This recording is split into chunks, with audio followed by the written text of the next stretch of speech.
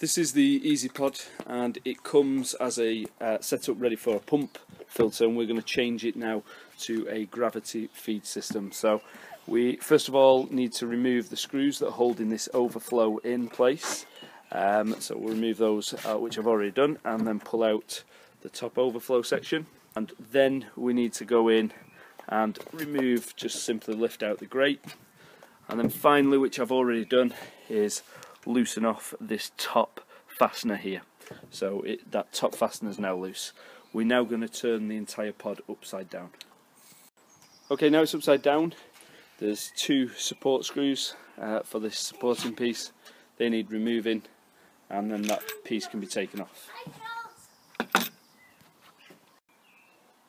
Now that that support bracket's removed, the whole inside return assembly can be removed from the EazyPod.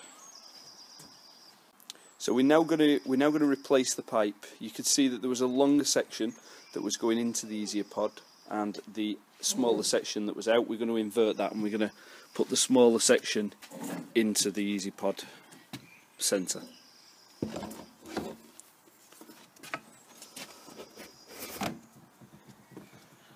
So we've now got the longer section coming out of the EazyPod.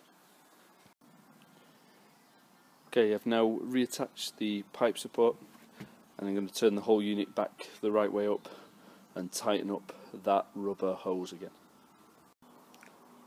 It is worth noting that when it comes to tightening this and removing this internal connector, a pretty standard size smallish screwdriver there still won't fit in, um, basically hitting this back to undo so the only way to get in it was one of these short stubby screwdrivers.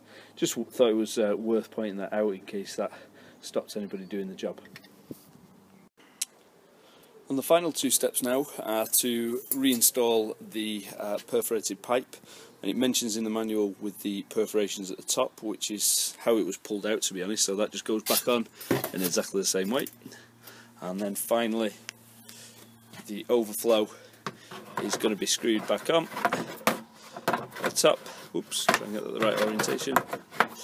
There you go finally the overflow screwed right on the top. And there you go conversion to gravity feed. Okay hope that helped. Thanks for watching